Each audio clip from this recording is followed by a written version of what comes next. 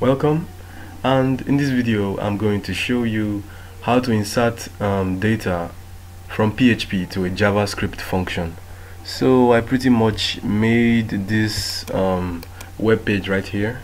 So the idea behind this is to just enter a name blah blah blah blah blah. And then when I click on display it actually um, alerts it just displays an alert through JavaScript first it sends the name to a PHP um, script and then um, retrieves it back to JavaScript and displays it as um, an alert.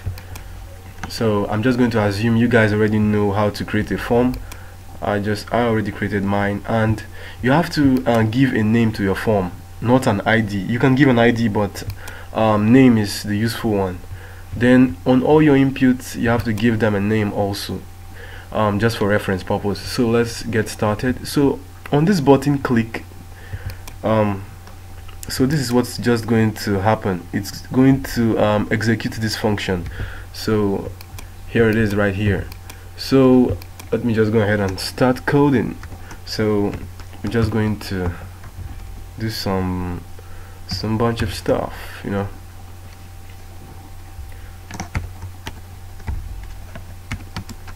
um, we're gonna give this any name. You can actually say um, PHP name. Any name you can just give it anything. And then um, we're going to give the reference right here. So it's going to be form dot of id which is the name of um, the input box dot value. So it's going to be form dot of id dot value. So I only have two um, two um, pages right here. The first .php and the second .php one holds the HTML file and then one holds the server file uh, the server codes rather. So um, I'm just going to post this to the second .php if this second .php were to be on the server you're just going to enter the server address and the location of the um, PHP file. So um, so what this basically does is to take this um, form dot or whatever is just in this input box right here. This input box right here.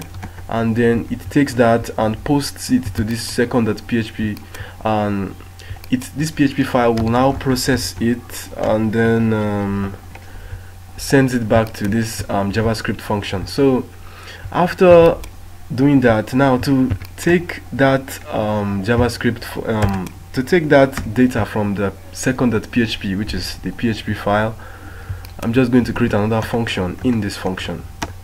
So function I can call this any name um, I can just call it output or data anyone you can just call it anything. So next I'm just going to create the alert. Um, let's output the let's alert the output. That's what we just got from the p second.php so if we run this right now this is how it's going to run. Let me just refresh and, and just write uh, Juliet.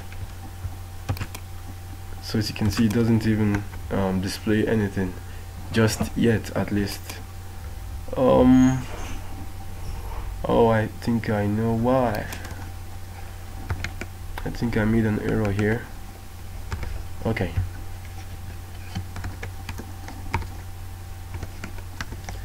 Yep.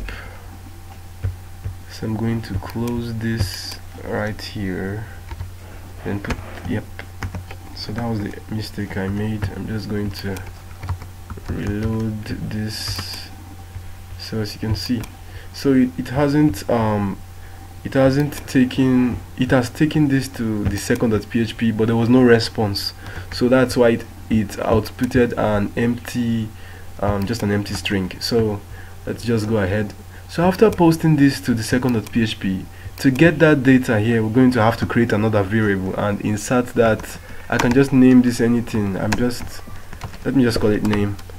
And then um, dot post blah blah blah and then now what I'm going to put here is exactly the same um, name I referenced here. So so this PHP uh, name that I put here is actually this form.offid.value or in physical terms whatever is in this text box. So now I'm going to put it here. So whatever is in that text box is now in this variable right here so now I'm just I'm just going to if I had an, an SQL um, database I could just uh, you know whatever you know just process this data um, right here. But since I don't have that uh, now I'm actually just doing a basic tutorial. So I'm just going to echo this string back. So dollar name dollar name dot dot in PHP is actually used um, to join two strings together or to join two variables together. Just like in JavaScript it would be plus or in C sharp um, it would be plus. But in JavaScript in PHP it's um, just dot. So just going to add the um, Juliet is a name. And it's not not possibly Juliet any name. It's a name. So let's save this and then try it again. So you see Juliet is a name. So I could just put my own name. So majesty is a name. Um, so that pretty much sums this tutorial. Thank you very much for watching. Um, please like and subscribe. Absolutely free. And um, I'll see you next time. Bye